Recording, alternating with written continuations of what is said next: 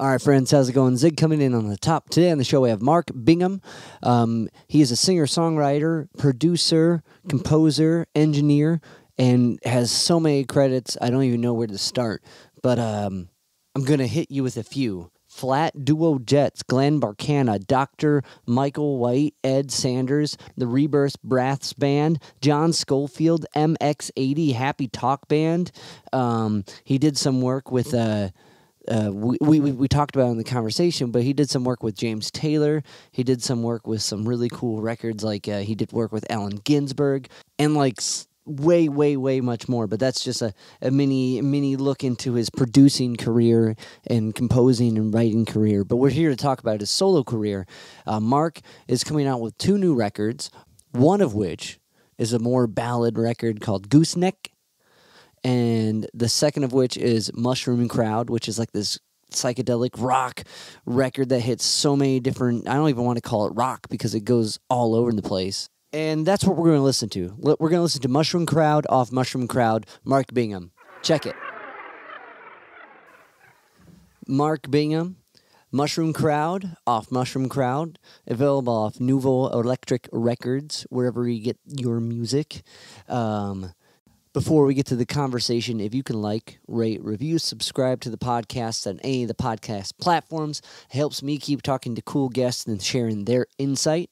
And this is it. We're going to get into it. This is me and Mark. um, awesome, man.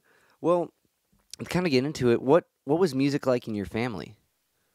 Uh, well, kind of non-existent, except my dad loved um, my dad was in the Navy, and then he loved uh, the Richard Rodgers Victory at Sea, and he would blast that on the weekends. And then, oddly enough, he loved Thelonious Monk for some reason, which was, and and I got to hear that and check that out at a young age, and that that was good. So, but really, music, you know, wasn't much. You know, the, my mom's side of the family was like. Uh, we call it, they were um, brethrens, which are sort of like right wing Amish.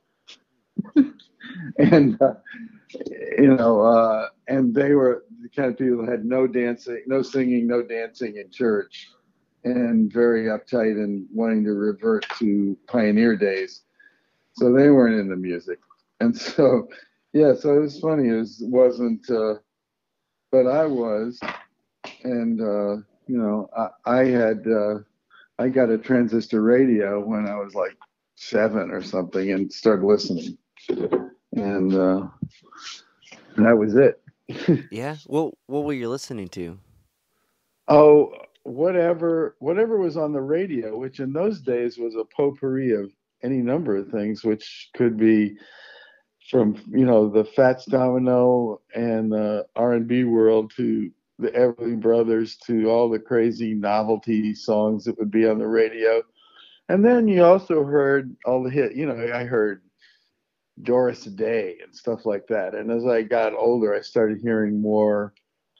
I mean, I remember for some reason I heard Stan Kenton and June Christy and these kind of things. And so there was a lot of stuff that I was hearing. Um, and I, I just kept listening, listening, and then by the time I was a teenager, you know, I was really into it, and I remember having a great epiphany being a camp counselor, and it's the middle of the night, and I got my, uh, I'm out there sleeping on the ground with my transistor radio, and the Four Seasons, a new Four Seasons song came on, and I thought it was the greatest thing in the world to look up at the stars and hear this song "Candy Girl" coming out of this teeny, teeny little speaker. So you know, I music was always something that you know got me through whatever you know i loved uh i just you know loved to listen to it and then at some point i i just picked up um a guitar and and i started i started singing first you know yeah. I, I started singing in, with some bands and whatnot but i never sang in school and i was very uh um, not liking, you know, music class in school. It all seemed very formal. I tried to play saxophone. I couldn't do it. Um, you know. yeah, no, I, I really relate to that because I with the music, the for me was the same way. Like I didn't do it in school. Like in school, made it really like how you're saying, really like uh, cookie cutter and like it didn't really seem fun and expressive or anything. But that's it's interesting that like um to, it's, it's such a wide variety of music that you were taking in, and like they have like outliers like Monk, you know, kind of be like uh, some of the starting points in a way. That's really cool. Monk and, and the other one was interesting was that in that point, you know, I, am getting my years mixed up because you know I'm 73. I can't I, I, can't remember what if it was 1958 or 1961 or whatever. Yeah. but uh, these um, like Johnny Mathis, you would get played right. in the house, and Johnny Mathis was a big thing. And I remember, and and most of us that were, you know, as I started into playing music with people and whatnot, imitating Johnny Mathis was a thing. Yeah, could, I, I, can almost still do it. I can still sing "Chances Are" and sound like Johnny Mathis. And uh, but the the different part of the world at that point was where we were also um, you know the black music was there and and all the doo-wop. And it there was just a lot of music getting thrown at us that today is you know now they have 58 niche versions of electronic dance music. Right right right. And i can't i mean i can't say i can't tell the difference but I mean, I got off the bus at you know jungle and track.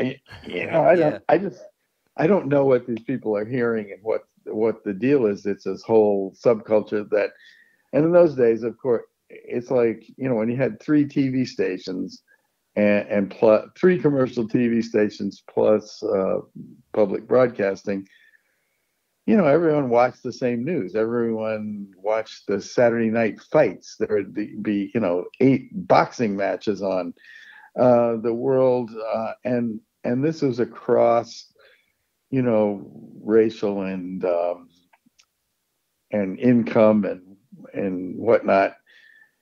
You know, everyone was getting the same kind of info, which is really interesting. And then now, you know, it's completely busted open, but the music um, you had to dig for the music but you know randy's radio that was on all night on the am so you heard you heard all if you were digging for it you heard you could hear all kind of amazing things. And so cut to say 1963 having a band and the beatles start kicking in.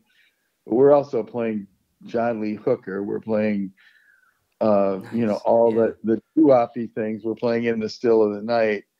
We're playing, you know, Muddy Waters. We're playing. Eh, all this stuff went together, and then the Beatles and the British Invasion come in, and then you're playing all that stuff mixed with that, and then at the end of the night, you're playing Jay and the Americans. She cried for the uh, for the dance where the chaperones would, you know, slap your hand off the girl's ass. You know. So, so like, you know, it's like that was yeah. It's like the music to me was always I've always seen this, you know, global music phenomenon as you know ever bubbling, you know. Yeah. And and not I've never been much about you know genre. Was it I listening to your music? It sounds like that. Like yeah. In in in the large scale, it is because the genre is just kind of like a, a, a, rhythm that has a label or something. You know what I mean? Like, yeah. and it's just really kind of highlighting, hey, hey, we're in this and it's got a clave or whatever. Like, uh, oh yeah, the clave. Yeah, it's interesting. Yeah, when I went to Cuba to work, uh, one of the first things they did is they, I sat down I, while the band's rehearsing. I played clave for because I had, you know, it's like, what am I doing producing a band of master Cuban musicians? So sit on the floor and play the clave and show us that at least you can do that. Right. well, that's you know for those like genres, you know, not genres, but for that yeah. for that culture, that clave is like the center of that whole pulse. You know. Oh, that's it. I mean, you can't do the music without it. That right. everything revolves. So you know, yeah. But I guess, like right now on Earth, say, you know, I have this my, this app called Radio Garden. Yeah and Radio Garden, the in the last few weeks I've been listening a lot of music from Madagascar. Oh, and it's really a it's really a mashup of a lot of different stuff, and it's very similar to South Louisiana music. They use a rub board, they use accordions, and um, so it's interesting to hear. And, and but it's totally wild and in, and different. And then I, so I've been listening to a lot of music, um, a lot of African music, and and oddly enough, the African music was so influenced by the 1950s American country music, and this mm. is a very odd one because yeah. when pedal steels and the sort of beautiful old school pentatonic melodies that maybe were you know Scottish I I don't know where you know who yeah. knows I mean, I could sit there and you know go back to the shipping lanes a thousand years ago and tell you why Indian music and Irish music have the same curves, and it's all based around the spice trade. But you know, that's yeah. some that's some deep stuff that is would take you know five hours to talk about. That's fascinating. But, I'm into but, it. Yeah. so yeah, so the music, so the music is like that still, and and American music kind of rules the roost, but then a lot of the local places come up with their own versions, which then kicks back and, and influences people in the states, you know. Yeah. And so it's it's it's really fun still, you know, to to watch the action. Yeah, that's it's fascinating to see how like how you're saying like it's interesting too with the the build on two points out of that like with um the kind of 50s country music coming out of like Africa. It's you know it takes it back to like kind of the banjo came from Africa. Uh, you right. know what I mean? It's like kind of building off that that in a way. And like uh, uh, my buddy, he they studied uh, uh flamenco music, and uh, this thing is. Sorry, I didn't hear what you said. Yeah. One more time. The thought. Uh, well, yeah, it was interesting having years ago having sort of teaching music or trying to in New Orleans early on for you know these were like 11 to 14 year olds. And a lot of the kids just had who had grown up around the music really had a lot of, had a thing going. And a lot of kids had nothing going on. I mean they just were like and so i think you could take any group of kids from anywhere on earth and probably do this and run the same thing. Those that had were in, um, in the middle of the culture had a certain thing, and those that just weren't uh, pushed in that direction didn't know matter how many Mardi Gras parades they went to, they still didn't get time. Right. Whereas some kids, it seemed like it was just there. Right. You know, and so that was that was an interesting thing to look to see. You know it is. It's super fascinating. I I know, and like still seeing it now, you know, and and it's it's funny. It's like the kids that get it are like, yeah, whatever, you know, but the kids that want to get it, you know, they they'll start to really hustle trying to get it, um, and get frustrated about it. um, so you you start pick you start singing, and you're starting picking up this uh, picking up a guitar like like how long after is a band like when you're playing clubs and covers and seeing how this music fits in different areas in real time as you're playing well well the thing is the it was i didn't really know anything about music. I mean i was right i was writing songs and i didn't really know the names of the strings on the guitar you know? I mean i was just kind of like a not not all there with certain things. And um, so we started playing i think our first the gig when i started doing this band i think it was 65 when we first started playing. And there were no clubs to play in because we were kids. And so i couldn't play in a bar. And but there were dances and there were sometimes in you know um, the town would have a rec hall or something, you know, and uh, a meeting hall, and there'd be a dance would be in there, or there'd be dances at the school, and there'd be like you know the junior prom, the sophomore hop, you know, the freshman fling, those kind of things that they yeah. they'd have, uh, and and you know in where I lived then, which was in northern Westchester, New York I have moved from Indiana to there in 1963, I guess. Or maybe I'd moved. Uh, anyway, we moved a whole lot, but I ended up there and, and for high school, and which was great in a large sense because that's where the radio was so incredible there. And I didn't like much else about the area, but I liked the radio. But also when we played, uh, so we could play these shows and we get to play a lot and rehearse a lot. And I remember getting my first amp at Manny's Music in New York City, and and I started. You know, I was lucky. Um, you know, I didn't come from money, but I came from enough middle classness to get a guitar. You know, and uh, and so um, yeah, so we started, and, and I think almost everyone in my bands in high school ended up, you know, getting record deals, and but none of them stayed in it that long.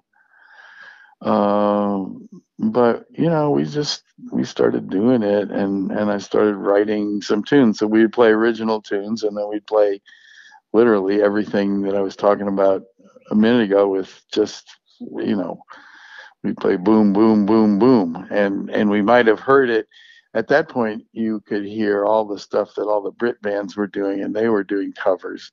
So then suddenly there were 50 songs that were from the blues and r&b world that were being done by the brits that maybe i'd never heard because they weren't on randy's radio or they weren't on the all night you know country and blues stations and whatnot. So it was a really eye-opening time for you know and uh, you know so yeah that was that's what went on until i guess i got out of high school in 67 you know. I find that's one thing i find fascinating about like digging into some kind of older records is you hear a lot of these songs being uh, covered by a ton of different artists you know like in sometimes under different names like old blues standards it's like right. it's like that tradition of the standard was very is still prominent in rock music and like uh, R&B and eventually it seems like that tapered off. Like you don't see too many groups doing that now like kind of doing the due diligence and like um I, I guess I guess you you see what they do now. But like uh, it's interesting like how prominent that was and like how recording a take of like boom boom boom or recording a take of uh, uh, Hank Williams tune like or, you know I mean just something something that yeah. shows that that's what you started playing. You needed a B-side that was something that would would work. Um, but anyway so like moving on for because you started you were signed to be a record producer at like 17 right? So, well I what I did, I was like, there was a um, when I lived in in an area that where there were a lot of people, a lot of the parents around there were successful people in from um, you know the arts and writers and ad people and tech people from and one of the guys uh, was this guy had uh, my friend had five tape recorders. His father worked for at that point RCA.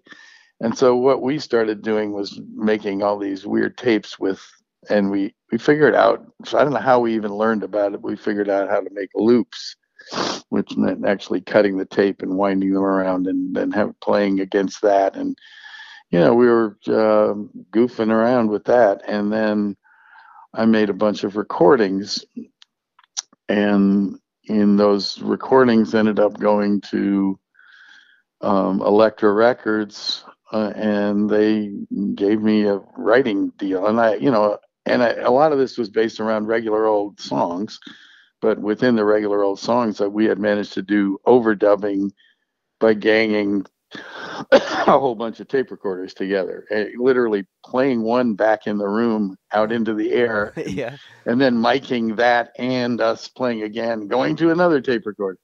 So it's kind of a weird setup, but you know, it was I guess they figured that was inventive, and I knew, and I got okay sound. So yeah, so they made me like an apprentice producer, and I got to look, basically just see what people were actually doing when they made records.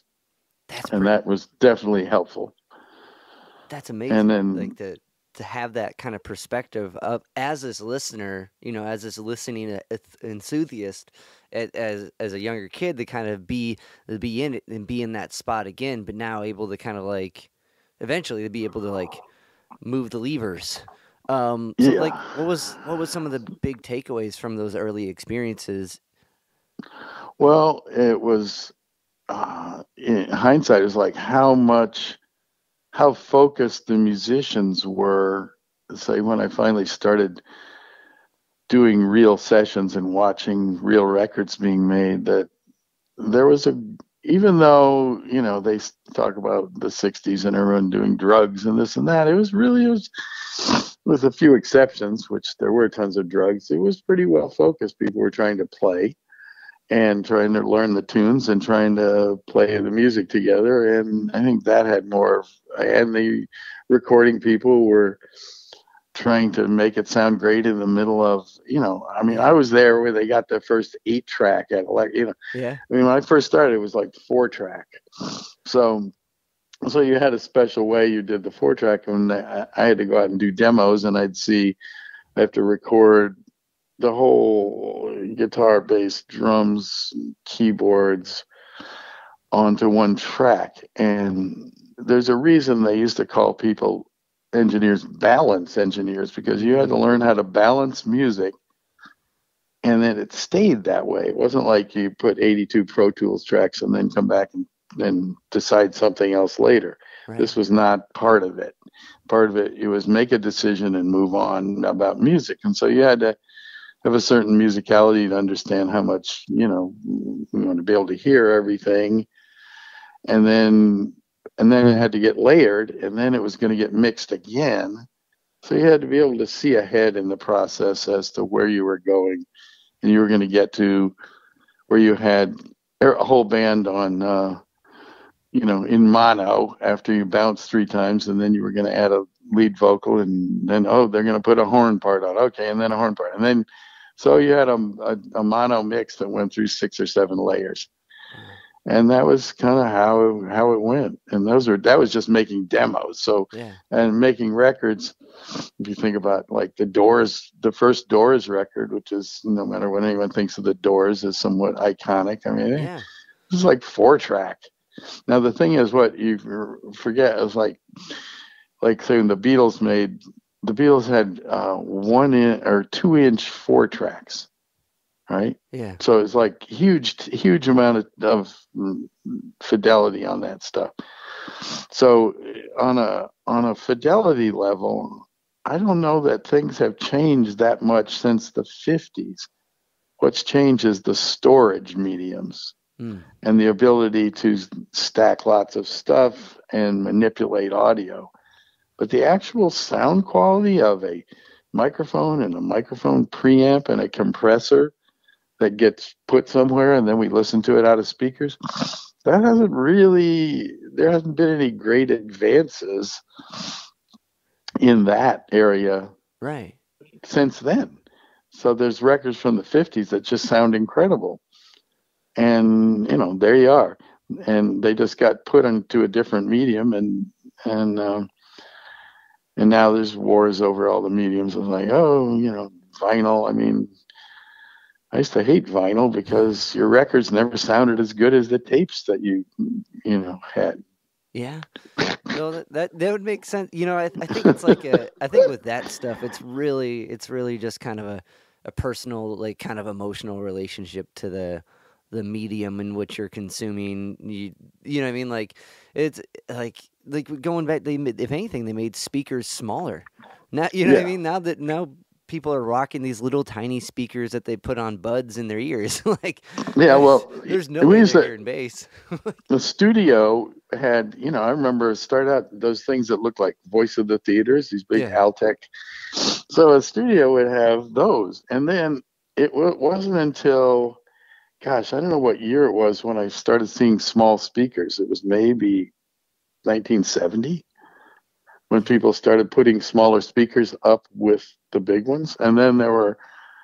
It was like what the kind of speakers you'd have in your dorm room or something. Only Yeah. you know you'd use them and A- AR sevens and all these. and then people would covet those, and then that would change. And finally, in the early '80s, the Yamaha speakers came out, and then all kind of speakers, and now there's a wide variety of speakers to use to measure music and mix and whatnot. But yeah, and on the home level, hard to find anyone that has a decent setup. It's you know, it's like doctors and lawyers with forty thousand dollar Right. systems or nothing. and they had someone put it in for them. Uh, yeah. so, So- I yeah. like, what were some of the groups that you were like demoing and like uh, seeing the whole process happen? Well, nothing. I can't even remember because when I got the job at Elektra, my job was to listen to all the unsolicited demos, Oh, and then okay. if there were somebody that was any good, they'd send me out to wherever, and I'd make a recording of them and bring it back to the bosses. And none of those ever worked out. Yeah. There were people I told them about that eventually became huge stars, but they didn't. It was funny. They had their thing, and you know, that was that. You know, and there were a lot of people I was working with that ended up doing pretty well, but Elektra was sort of didn't really think any of us were any good or something. You know, so it was a funny, funny with that experience. It really was an early. My, you know, you can imagine here. I make all these crazy tapes and Yeah. they sign me up and then the first thing they tell me is well now you can learn how to write boy girl me you songs and we can make some money. And i'm like you know you don't tell a 17 year old about making money. They you know i don't care. Yeah. you know and so it was kind of like what? So that you know that's how the whole business has been forever. It's just like we like we like what you do. Now do something else. Yeah, is is that is that why you, you didn't stick with that for so long? Was that it right there? well, you know, um, I just at that point in my life, I had a whole lot of stuff. I mean, there was like a whole lot of things going on. I was Right, never really a very, I was never a very happy or functional kid, and I did what I did, and I was a distance runner, and I think running kind of knocked me out of the thing. I mean, the joke after all these years is like I had some kind. And the reality is, I had I was missing certain genes and I had this, all these, there are things that nobody figured out for 50 years. But, you know, it was like the only way I could experience feelings of well being was to go, you know, run 10 miles or Mm. swim or do this or do that. Or, and then, um, you know, smoking weed didn't really sort of change, make that any different. That just made everything crazier Mm. So i was just in a i was in a different kind of you know anxious state for a long time. And the whole scene in los angeles and working in that i just didn't like it Yeah. is what it amounted to. It wasn't something i wanted to do. And i was around all these people that were very successful and famous and they were just kind of awful. I was like i don't want to this is this is what this is? No i don't want to do it. So i just left you know and uh I I couldn't, you know, I had a deal on Warner Brothers and I just said nope. I was going to play at Woodstock. I was like, nope. so then I went back. I went back to Indiana, and then I just still playing because I still wanted to do music. It was like it was funny and how the the great music business thing that seems everyone's focus, especially this day and age. I mean, you're asking why is everything so different? Is because you know we've had 20 years or more of just intense focus on the you know the flavor of the week the flavor of the day the flavor of the minute. The 15 minutes of fame are now you know 22 seconds or something you know? Yeah, so yeah. so it's just it, you know there's no linear there's no continuity there's just mass chaos and there's no music how people consume music is completely different and i have no idea how any of it works but you know back then i just knew that the music business was not for me and yet i was doing music so that became a problem Yeah.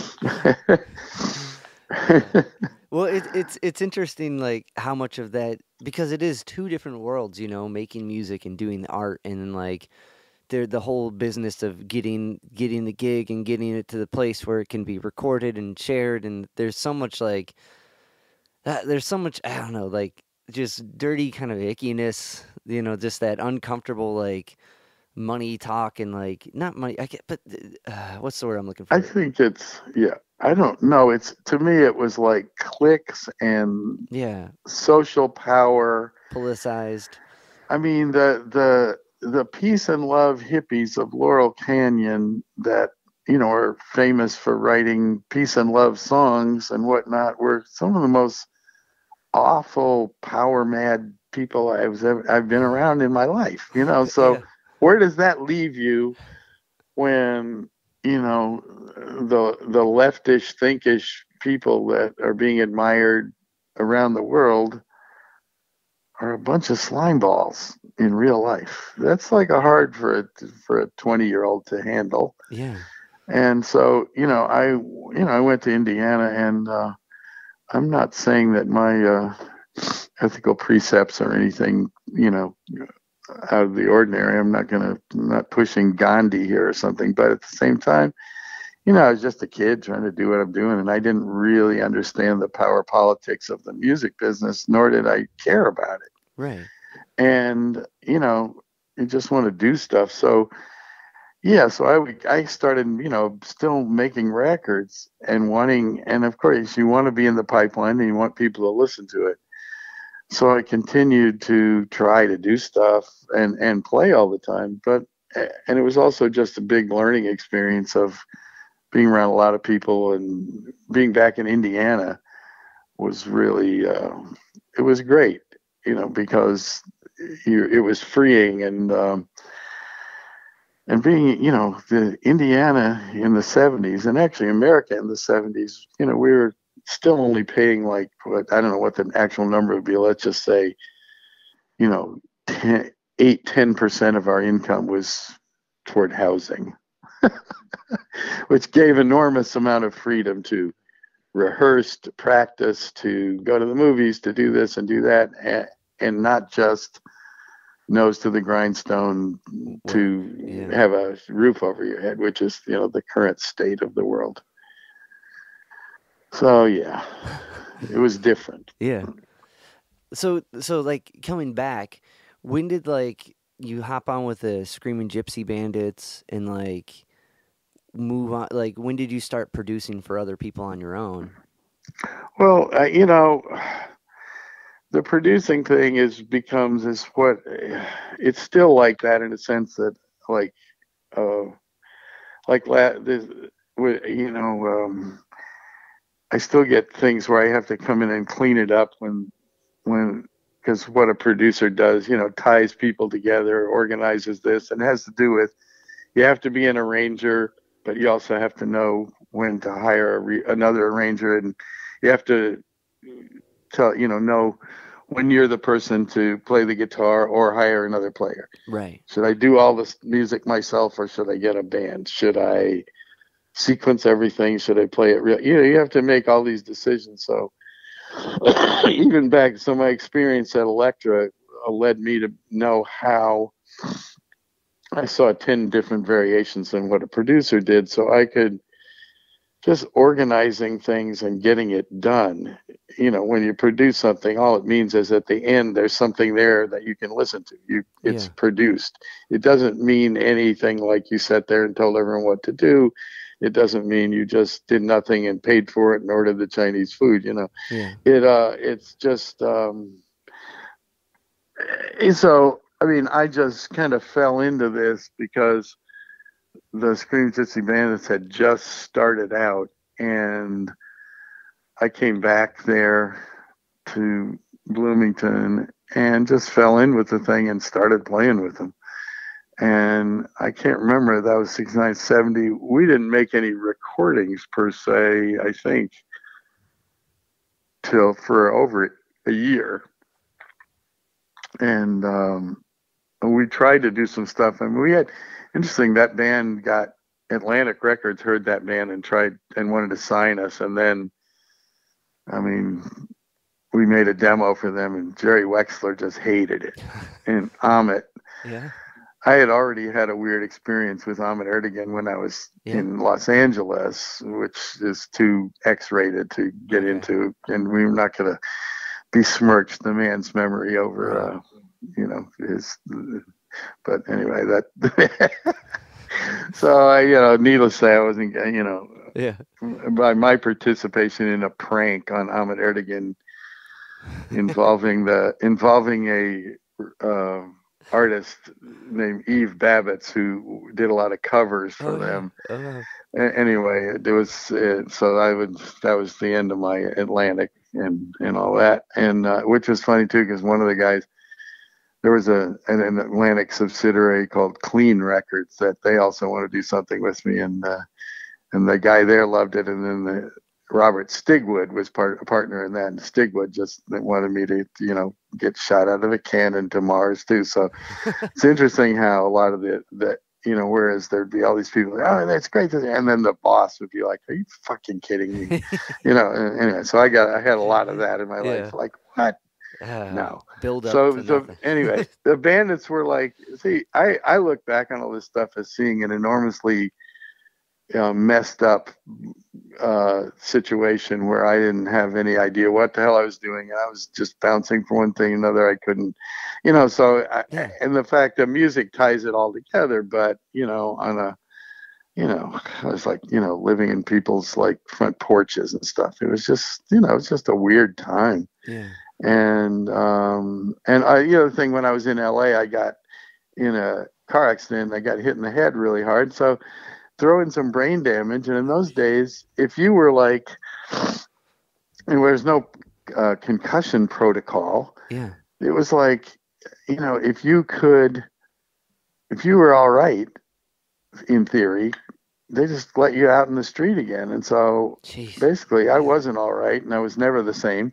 But uh and then it was the the hippie thing. I got hit by this get hit by a car and they you know the cops you know not only was i broken up the cops kicked my ass even more Jeez.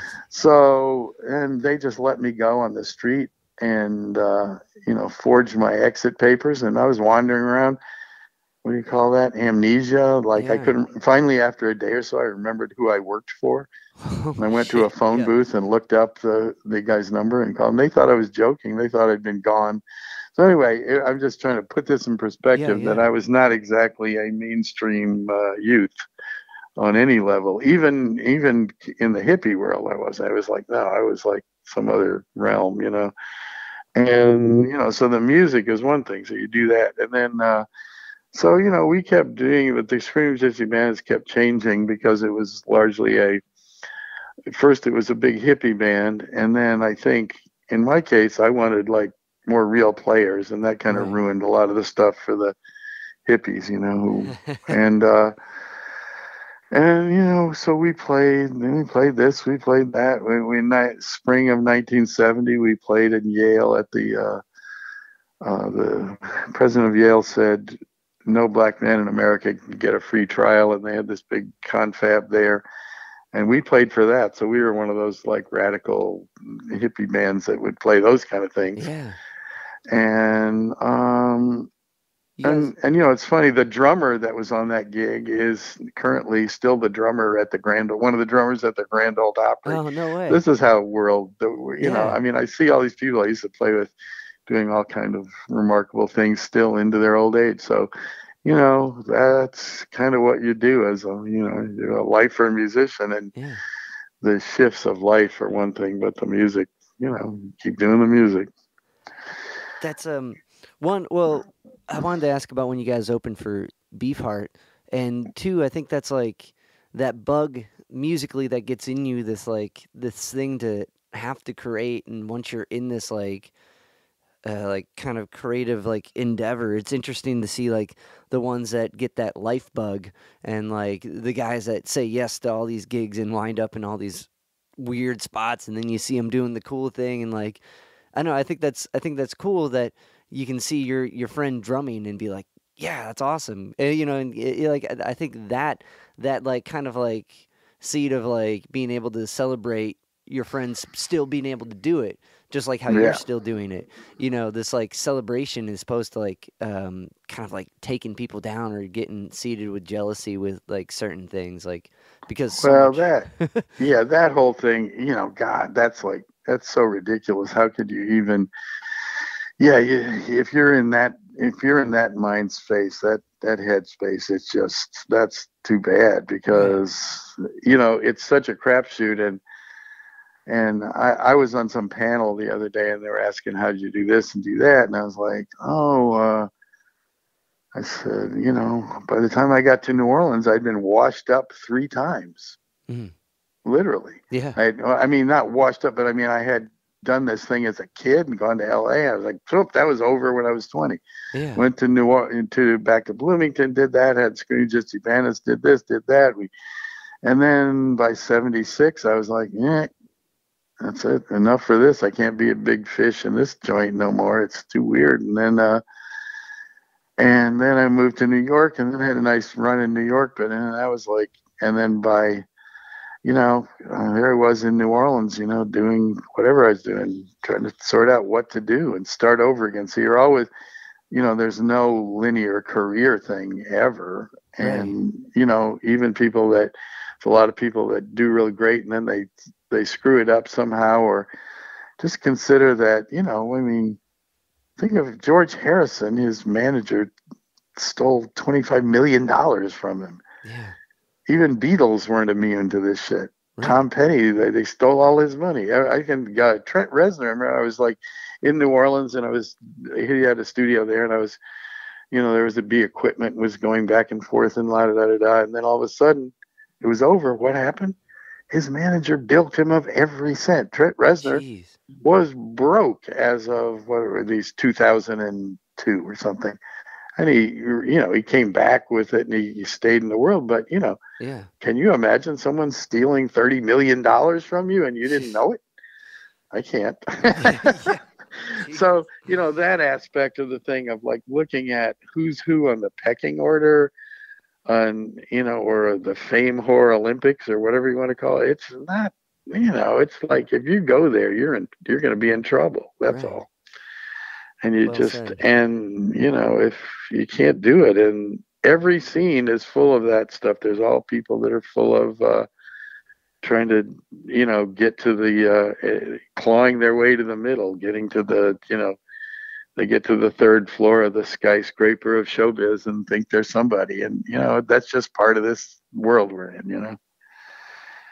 And uh, good to know. i want to be lizzo. That's what i want to Yeah. yeah was it um but uh but yeah like uh, that's a good analogy for it. Um uh like kind of well the kind of like build off of that like because it is it is and especially now like with like uh all like i see it even just like with kids comparing themselves to other people via social media and via like right oh they're doing yeah, better than I. I need to do this and like so it's almost like the shitty aspect of that. Like I mean, even though it's amplified way more when someone put getting millions of dollars out of somebody, um, is kind of now focused on by just like this many people attention seeking in a way. But yeah oh it's it's it's it's way out of control and I like, mean, obviously, you know, when you see in the politics and the whole, I mean, you know, everything is is just completely mad at this point. I have no, I can't even begin. And you know, the way our government is, we have, I mean, no matter what you think about politics, none of the, I mean, um, you know, the media thing, you see it's like the media is the government now. The half the sources on the uh, allegedly liberal side are retired generals and retired government people, and you're like, wait a minute, I don't trust these people any more than the Ron DeSantis, you know. right, So it just becomes there's nowhere to turn. right, There's literally nowhere to turn in politics because uh, both sides are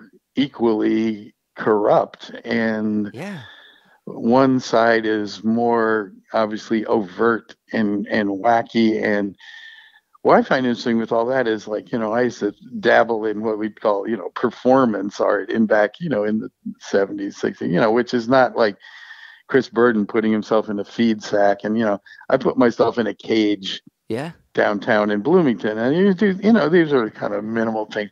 But what I've discovered is a lot of the, um, the right young right wing operatives and not so young now, but learned from this, and that performance art has become a uh, a you know in with the right. There's no more performance art with artists. Mm. It's used as a political tool, largely by you know right wing stuff. So that's fascinating to me the shift in that because you know.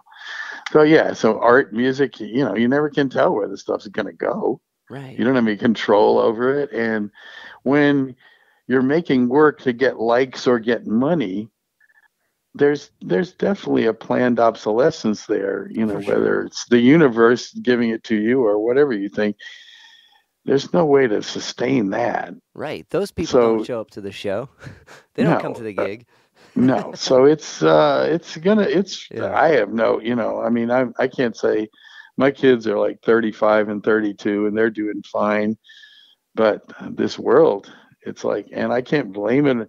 You know my generation was like one of the more screwed up situations but you know that's been driven into the you know we've heard enough of that. You know i mean we know that the baby boomers didn't uh didn't deliver the goods and and you know so but still this the new world the last few generations haven't done any better no matter what anybody says Right. Right. so we shall see Yeah, for sure with that. And like, you know, uh, there- I agree with like that definitely there's this performance aspect of things. And it's interesting like um it's interesting like how uh, like even with Plato in the Republic where art Right. and music was was highlighted as a, a thing to influence, you know what I mean? Um, yeah I the part that sticks in my mind right now is like you can only play songs in Dorian mode, like right right because that inspires thought and warriors. Um, but Yeah. um, you know what I mean? Like this is definitely an aspect of uh, of some bigger thing to some degree.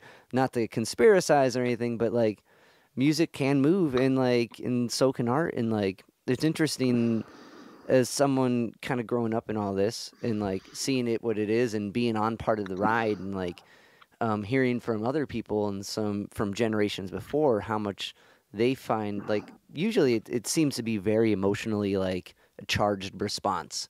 So to have a conversation like this to kind of hear that like uh, it's also kind of like this this uh, performance art to some degree too you know i mean like is is really insightful or at least you know uh, um, uh, inspiring to kind of like think that it's more than just like an emotional reaction from people oh like i think yeah no i think so much of this stuff is purposeful. And you know what's interesting you know you know the, guy writer william burroughs and Yeah, william yeah. burroughs wrote a book.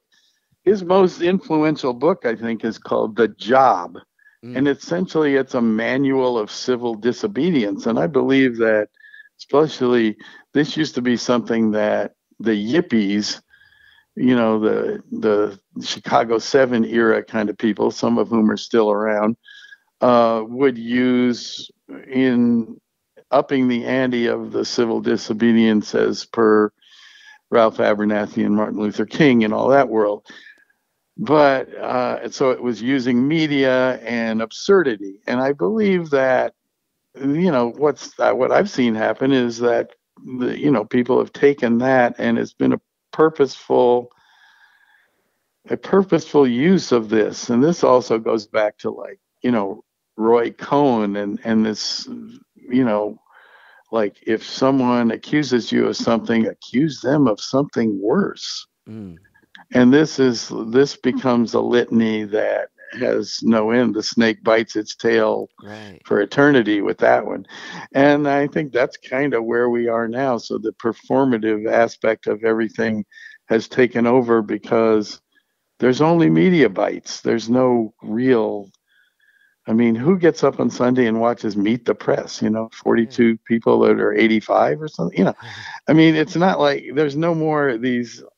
If everyone is a talking head, then who are the who are the pundits? The pundits don't exist anymore. They're bought and sold. So we're in a completely insane world that uh, I don't. Nobody, you know, Dalí. nobody, you know, uh, Duchamp, nobody in the art, nobody thought this was going to happen, and it's just like science fiction. What did science fiction miss? The Mm. personal computer. there was always the big giant thing in the room that controlled the city. No, they missed it. wasn't one damn book about a person that where everyone had a computer. Isn't that weird? Was it? so you know Yeah. you think about yeah i mean i think it's just incomprehensible so this is what do i do i'm going to go uh, i'm going to go sit and uh, you know i'm going to have a session and i'm going to take a walk go to the movies go see my granddaughter i'm going to practice yusef lateef uh, things um, you know and uh, think about what else i'm going to do. But you know the the it's it, the avoidance of that world is important i think you know. Oh, for yeah. to, to not i mean i wish i could just fast off of news entirely but you know what let's say with the screaming Gypsy bandits doing political stuff it was very different. We were playing and there was national guard around the stage. Yeah. I mean we were getting tear gas i mean Jeez. you know it was that was the week the kids got killed in kent state and and we were you know it was like it was real Yeah. it wasn't like this was like so we i've known that the the atrocities of the government have been you know in my face forever and it has nothing to do with democrats and republicans or the deep state because the deep state is deeper than any conspiracy theorist could even imagine and that's the weird part you know Right. it's the deep state is beyond uh, the imagination of anyone that thinks there's pedophiles in a pizza parlor you know Do you um? Do you ever cross uh, the numbers, the numbers band what is that uh, from Akron, Ohio? The numbers Mhm. band. No, the only band, the Akron bands that I worked with was were like the Swollen Monkeys, Okay. and then partly then the leftovers of like Tin Huey and Okay. So do you know Chris and I used Butler? to hear Tim Wright, but I didn't really know Tim Wright. I just heard him play with Arto and in that world, you know. Do you know Do you know Chris Butler from Tin Huey? I do, Okay. Cool. Me too. but I haven't I haven't seen him or and I'm trying to remember how I even know the guy. And it's probably see I, I worked with Ralph Carney. Mm, okay. and Ralph was in that whole scene, and Ralph ended up in Waits's band, and then we ended up playing with Allen Ginsberg together, and then we did so we did a TV show together in the summer of '88, which was funny. And there was another Ralph that was from that scene that was on that gig too, but I can't remember his last name. Okay. Um, right. Another A- Ralph from Akron. I was just because uh, that's okay. That's really cool. I, was- I was talking with Chris because he was he was there during the Kent um, shootings. Um, but um, on a, like on a on a different note about this Allen Ginsberg record, like kind of building off Burroughs. What was that like? Like working with him and working with music around him. Well, you know, I think Allen was was very skeptical, and we had done this movie with this guy Robert Frank, and Robert Frank convinced we want to do something with Allen, and Robert Frank had um, convinced um, Allen that Hal Willner was okay and he should think about it. And then what we were trying to do with Allen was get him to not do his crazy poetry music where he would play the harmonium and sing those sing-songy songs in that Yeah. voice that i mean it was i mean it, it takes a lot to get kicked off the stage at the rolling thunder revue. I mean seriously. You know it's like so allen's thing and then i guess the folklore is that marianne faithfull said allen you should not sing. But i don't know if that really happened but Hmm. that would be something marianne would say for sure. And uh and so i what the concept was let's get player composers and we'll all get allen allen's book of his at that point it was a complete 1985 86 complete poems book Mm.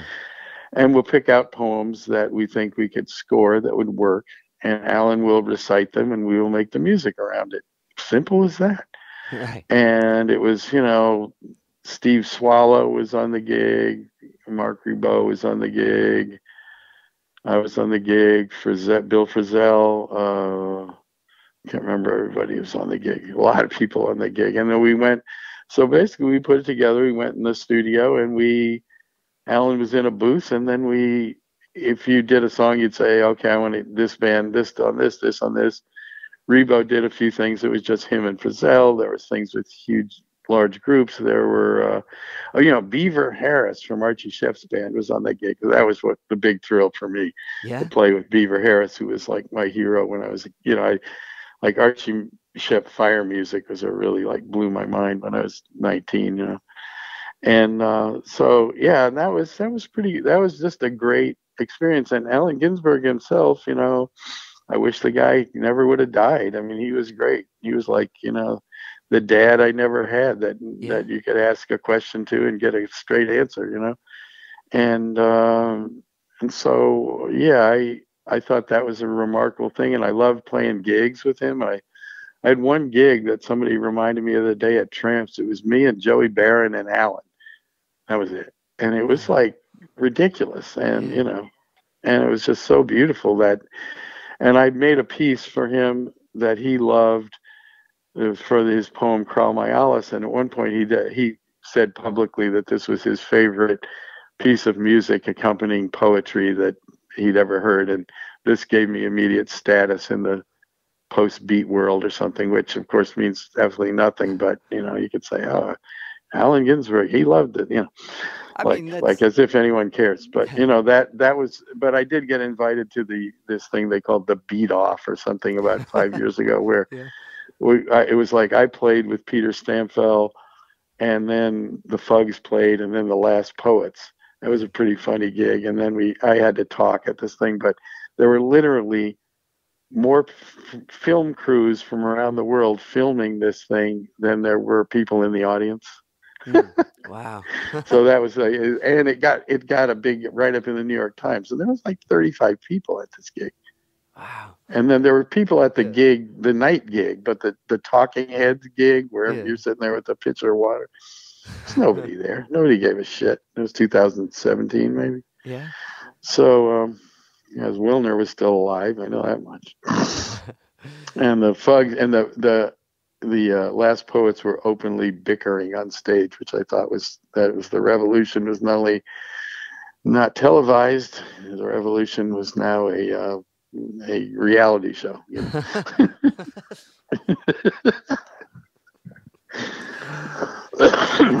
it's it's interesting like how um something like the beat movement or like no wave um like trans like hits later you know what i mean like in the moment like like like it's interesting that more cameras were there than people like Yeah. because i think a lot of people care about this and a lot of people are moved by it but it's also the same type of people that probably aren't going to go to the gig you know what i mean like i don't know what that is, Yeah. or like that document of that event is going to resonate later and be it's it like it's stuff that are it's very dense and kind of heavy in a way gets digested later by listeners um Well, yeah, it's funny. Yes, I mean musically, some of the stuff that I've done, it takes like 25 years before anybody like gets it, kind of because it's yeah it's against the grain of the uh, of the modern of you know of the people that are all trying to sell uh, whatever you know immediate music sale, uh, image sale to certain niche groups. Like, because you know, if I put out a record, I mean it it doesn't fit with the world of Dinosaur Jr right you know, pitchfork. They don't know what what the hell is this shit. But then it makes sense after a while, and then somebody reissues it, and uh, you know, like this. There's a record, the Scream Gypsy Bandits record from '73 yeah is now is coming out for like the fourth time on and on vinyl pretty soon on this Numero label. You know, so so it's, funny. It's like yeah. that music, it lives. But at the time, I mean, I had reviews saying that none of these songs were worth recording. I mean, yeah, Yeah, it's like, what the fuck? Well, that's a great thing to tell a 20 year old. Oh, you really suck, man. yeah. Stop trying to get in our club. We Yeah. run this. And that was when See, you know, remember like major labels when we had indie labels, we were overtly dumped on by the whole power structure of the music business. They didn't want that. Yeah. They wanted to control everything. Right. That's the way it was. So People forget this, and you know, and that that there was, you know, an overtly political part of that world. yeah, and now it's anyway, politicized playlist. You know what I mean? Like oh yeah. that's But you, we, there, but yeah. we, we were able to get on the radio, and we were able to actually compete. And the funny part is the way we lost. I had a record label, and the way we went out of business was by getting a hit and having to Hmm. press twenty thousand records, which ah, we probably got a thousand dollars back from the sales because the distributors were all gangsters, and they were like, "Fuck you, we're not paying your ass."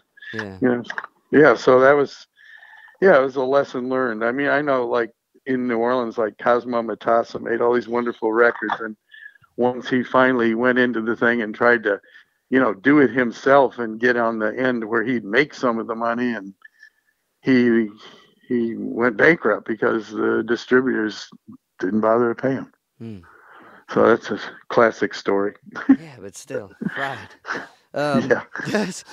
Uh, to kind of build off the uh, um Ginsberg, so like with that record, did that uh, influence the the track 1973 on this new record you have coming out? Or one? Uh, well, no, I mean, I've been doing that kind of shit long. I mean, even before Allen, we were doing, you know, text and, you know, so it, it, it not really. It was just, I just had that story that was, I thought it's a really good was story. ki- kind of funny. It kind of like, you know, twists at the end, the whole, uh, and, and and it was like me and this guy Bill Schwarz, who became Willie Schwarz. I like introduced him to Waits back in the when he needed a, a player, a accordion player, and Yeah.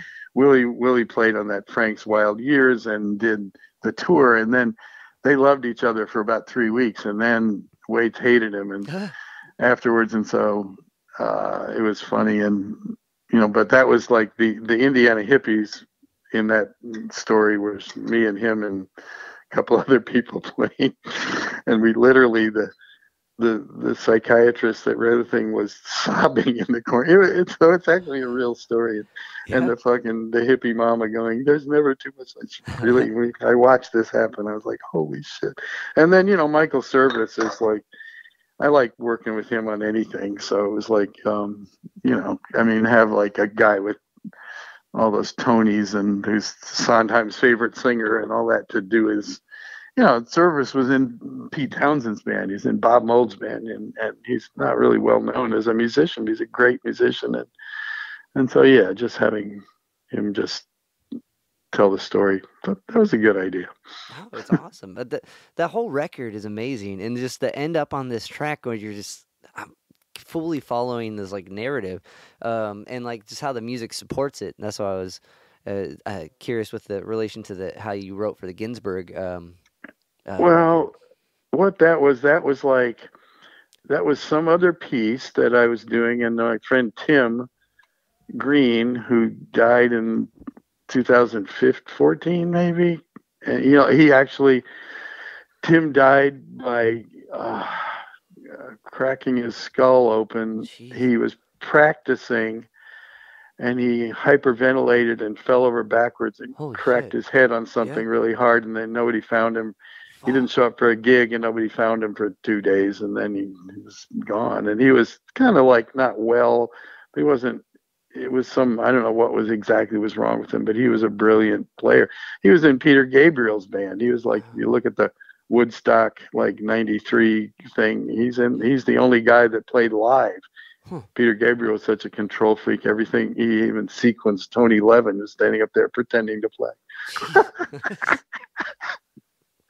That's the so show. yeah so so tim so that was like uh and then i had something that was basically just a composite track where i took a bunch of things that never happened at the same time in the same place and mashed them together and then put the story on top of it i mean so it was it was no uh no high art just kind of me fucking around in the studio you know Well, it's the same thing that got you the gig, right? The producing gig. So yeah, right. Exactly. it's kind of like that is hard. that is high art.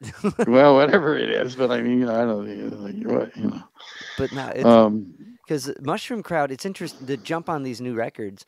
It's interesting how the um, the I don't know which one precedes the other because Howard sent both of them to me. Um, I don't know if one came before, but Mushroom Crowd compared to um, oh, I can't think of the ballot one. Mushroom Crowd is after after Gooseneck. Gooseneck. Yeah, it's not. It just it just I just broke the words apart, but it's actually, you know, it's from that one song where the uh, it's actually, you know, I took the text from Gooseneck. Rabelais. Yeah. Yeah, I took the text from uh, you know um, Gargantua Yeah. and just made a song out of it. And then the guy, you know, he likes to he likes to take the neck of a goose and stick it in his ass, you know. So that was like that's why it's called. It's good. That's the name of the record, Gooseneck.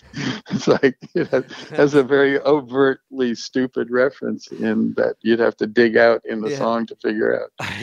But that's what it is. That whole, I mean, you know, yeah. I, mean, I was trying to make these, you know, it was like I had this fling of making, uh, uh, what I was thinking of, you know, working with Michael Cerveris, and he, I went to see him in like Evita and some other things, and and you know, with Ricky Martin, and so it was funny. And so I was thinking uh, how I had always never liked musicals, but I liked, and I didn't like Andrew Lloyd Webber, but I actually had fun watching Evita and seeing the whole thing and the spectacle and the staging and.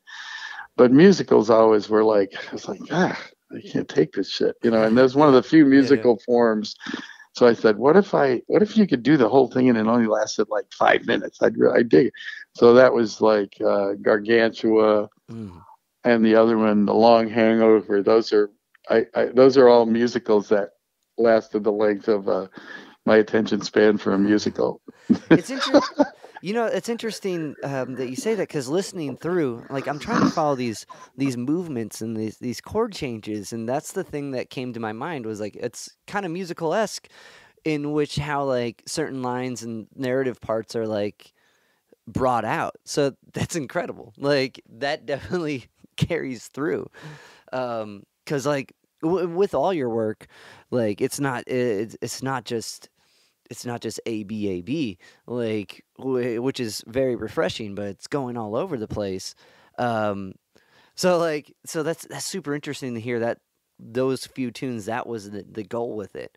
So now with with these two records in particular, um, you said they're recorded at different times and they're just being put out now, or was Well, this kind of yeah, uh, well, Yeah, they were recorded. Um, like the, most of the gooseneck stuff was like before I left New Orleans in 2014, and then I finished it out in the in the country. But I think most of that was done like six, seven years ago, and then uh, Mushroom Crowd fig- finished like that's probably 2017 or 18. You know, it's hard to say. I just put arbitrarily put numbers on there yeah, uh, but some of them I you know worked on four months ago and remixed or something. But you know, essentially, I'm trying to just give a time frame to any of this, you know, right. which sometimes they don't like that, and you know, they want to pretend everything is ever modern. But I don't give a shit if people know when it was made, you know.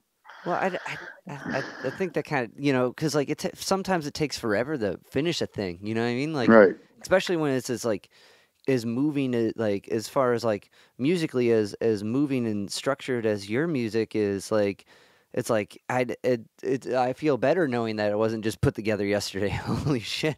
like, uh, to be like someone who's trying to write songs and stuff and come up with bits like to get a verse chorus is hard enough, you know, within like an, an hour or something. And like, so I'm Yeah, glad well- to hear it wasn't all just put together yesterday. Thank you. No, I mean, you know, I mean, you can sit down and write a song and you know adhere to the. We're gonna make a little intro, or we're gonna start cold, or we're gonna, and it's, you know, the Nashville thing. It has so many syllables, and then it's gonna go here, and then the chorus has to repeat, and then it's gonna go up a half step, and then you know all that. Uh, you know, I mean, this is like if you're if somebody if somebody that you really like comes in and they you're gonna work on their stuff, and you might go help them get their songs have a bump to them and make it easier for the rest of us to hear Yeah. and more fun and all that shit but uh, you know, so that's when you use those kind of, you know, overt composition techniques, and and, and otherwise it's more fun to just to find where something is supposed to go. Because you know that's more mysterious and you don't really know. But you know it's it's easy enough. Like you know i play a lot of gigs where i mean i just played some gigs where you know i listen to the song i listen to it down i write it down as it goes by. I think about what i might play and then i go and then i play it mm. in front of human beings and don't mess it up yeah so you know you have the ability to do that but that you know, doesn't mean that you write, you know, it doesn't give you a leg up on anything. And it's just, that's, that's what you're supposed to do as a musician, right? Right. right. it's, what you're, it's what you're supposed to be able to do. So when you when you work with somebody that's like a singer songwriter kind of person, then you can help them maybe flesh out some of these things that they don't really get why they don't know that you know, a C and an A minor are the same thing, except right. you know when you put your finger there, you, you see that high A on there. That makes it into a A minor, but it's take the A away and it's a C. Oh, oh, yeah. I mean, you know, literally, you deal with a lot of people that are really talented and do really great music, and they have no clue right why that is. And so, and recently doing stuff like you know the the Gil Evans drop two kind of arranging stuff. Mm it's fascinating and you just think but you know you how something so astounding is what sketches of spain and miles ahead and all that and you can but you can break it down to like oh that's what they did wow. yeah yeah yeah it is it's like a it's a Victor Wooten's got a good way of putting it. Like it, it's theory's easy, you know. The like it's it's described complicated, uh, complicated, but like when you really look at why it works. Oh, physically, you just move that, you know. Yeah. And like so you got a C major 7 and you and you suddenly you got it in the first position and suddenly you take the next one, you put the G on the bottom. Right. And then you keep moving that second note from the highest down and and have somebody just have a section play that and every change every other bar. You're like, holy shit that sounds like Debussy. right. So it's like, and all he did was do that. So it puts wow. the it puts the play back in music. It's just like well, know. yeah, and I mean, yesterday I went crazy. I was hearing, uh, I was hearing Mozart G minor symphony, and I just was like, this is fucking. and then the the DJ gets on. There's a Nashville classical station that's yeah. really great and plays all kind of. Uh, contemporary people that you never hear on mo- most classical stations play top 40 classical but this the nashville classical station is astoundingly good for hearing new stuff anyway i was just thinking and then the dj comes on and goes people say mozart wrote this for posterity but actually he was in dire need of money and he got money from a casino to write this and i was like oh gee there's opening a casino in vienna and it's like, oh, okay, never mind. Not it's as funny, cool. and it was like it's one of his greatest pieces, you know, to me. You know, you know, yeah, what yeah. a what a piece. Yeah, and uh, it's like, damn. Yeah, sometimes sometimes context or lack thereof keeps you know I don't know James Brown's music still good or you know what I mean like yeah, but James Brown is just like that. Should, that shit'll never. I mean, yeah, his uh, yeah, it's like I've got a cassette of it's like 70s stuff. It's not even the great stuff. It's just vamping, you know, yeah. star power that era and uh, with hell on it, you know. Yeah. And uh, and it's still great, you know. I mean, it just even when he was like starting to not. I mean, you know, yeah. he would like when the band was taking acid, and then James would like said, I want some of that. And he'd take acid and do nothing but run the stage for an hour and a half and while they vamped. And the audience was like, the hell? um, one thing I wanted to, to build off of, I guess, build off of that was like um, working with guys like John Scofield. Were were any moments like that with with a guy like that where theory or like kind of uh, playing became like less mystified? Uh, well, if if it wasn't for Scofield, I don't think I would have like a career on a certain level. Yeah. Because of his help. I mean, I already had a career before I met him, but you know what I mean. It's like the when I when Willner said gave me a chance to do a song, do a, monk song on that monk record called The way "That's the Way. I Feel Now," Yeah. And so I would want to do Brilliant Corners, and I learned it, but I could not get the bridge. So I asked Scofield if he wanted to play on it, and he was like, "Oh yeah, yeah," and I gave him the idea, and the idea was like. This is like the Ventures meet Messiaen. Let's use the Messiaen thing of where Messiaen had, you know, you'd have, you know, da da da da da da da, and then you should also have that be able to go against itself, go da da da da da da da, or da da or da da da da. All those should fit together, and if they didn't, you'd move a half step to make it sound all, you know, glorious. Mhm. So that you know, that's basically you know, you want to teach Messiaen. There it is in a nutshell. Uh, but uh, so it's like, okay, let's do the Messiaen on the front of it, and you know, and Swallow will play. Swallow will solo, and we're going to play it in quarter time, and Joey's going to play it in halftime, and Swallow's going to solo over it. Then we're going to go into halftime, and then we're going to play it in full time, and then that's it. And there's no solos. So it's like, oh, that's great. And so that was the arrangement. And Scofield ta- taught me how to play. He taught me how to finger the bridge, which is not easy for guitar, especially I'm not a bebop guitar player. I'm sure your average bebop guitar player can play it in their sleep, but it wasn't that easy for me. And then I got it. And, you know, without him doing that, what would have happened? I don't know. and then there was a thing I was working with James Taylor on a song, and the James Taylor's music director hated what I was doing, and and Scofield was on the gig, and Scofield mediated and moved the voicings in a way that this guy Don Grolnick would uh, approve of. And I was really trying to radicalize. I didn't want the Don Grolnick Muzaki, you know, shower the pea, where every voicing moved, you know, like it, as minimally from one to the next. You know what I mean? You know what I'm talking about when Yeah. everything is uh it's very seamless Right. and and perfect and beautiful and which I you know I and I love and I love James Taylor that's why I was like but I didn't want to do for this Hal record I did not want to do a James Taylor record I wanted to do something slightly so when I there were a lot of substitutions and a lot of weird stuff that made that were the disjunct kind of things that a, a great jazz guy would like give me.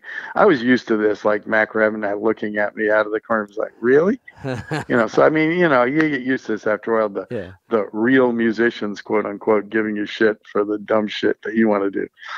And um, so Scofield, and he navigated that one for me, and that you know, so it's just been always been very much of a help with things. And he played on my solo record in 85, 86, whenever that was. That didn't come out till 89, and Hmm. and he did some great stuff on that, and that sort of predated his rock. He rocked out on those things, which he didn't really do again until the stuff with Medeski and all them. So, you know, He's an incredible, incredible musician. Um, and Yeah. that's one that's that's super cool to hear that the personality matches with the musicianship. You know what I mean? Like willing to help like land the point with you and like and and explain things, you know? Like with with someone of that caliber, you know, it, it- to like be able to be like it's this and then you're going to move it up half step. Like those are bits that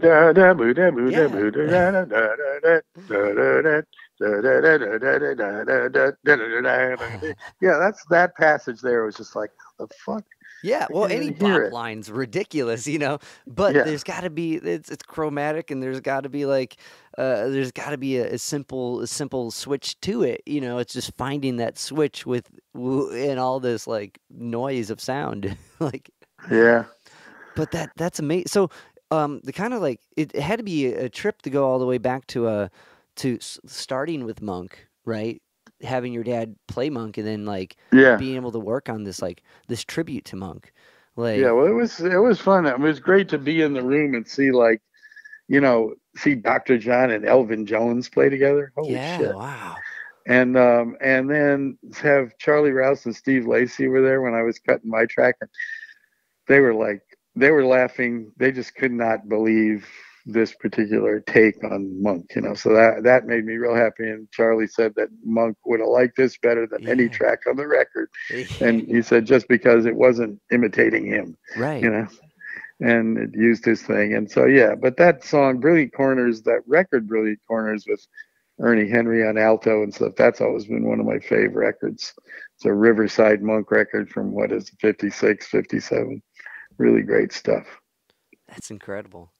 That's that's you know that's that's praise from you know you got Monk and Ginsberg. Ginsberg.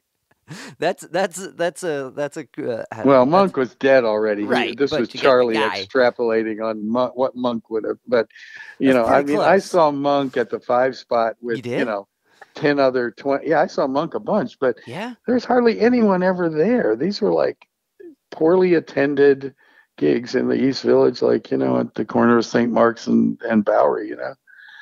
And I saw Monk. I don't know. I saw him a few places, and I saw Mingus. I got to see.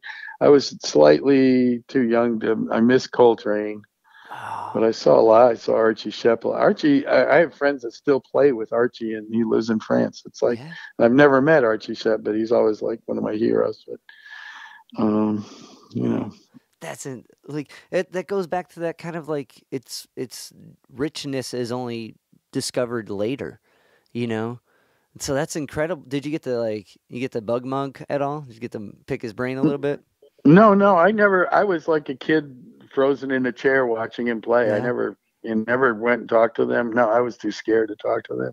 Did it check out with the record? Like you, have grown up hearing them, so seeing them live, did that pan out? Was it like what you thought it would be? You know, just oh yeah, no, yeah? no, it was great. Yeah, no, it was great. Except it was interesting that he played some stuff that I never would have thought he would play, but I can't remember what that was at this point. Yeah. Remember one time I went to see Archie Shepp and he played only Christmas carols, and I thought that was weird. that is weird. And, and oh, no, that was that was Rahsaan. I went to see oh, Rahsaan okay, and he played Christmas carols, and Archie, I went to see Archie expecting some crazy shit, and he played all Ellington, and I was like, hmm. I don't hear this Duke Ellington, you know. And now I'm like, oh god. You know, I was like, I, I, you know, I take the A train. That's why you play with kids that can't play. Fuck that uh, true. Yeah. Mark, thank you so much for your time, man. This has been a wonderful conversation, and I really enjoyed diving into your music and your career. And uh, this is a I really much enjoyed this talk. So thank you, my friend. Thank you, and uh, yeah, it's great. It was good. Awesome.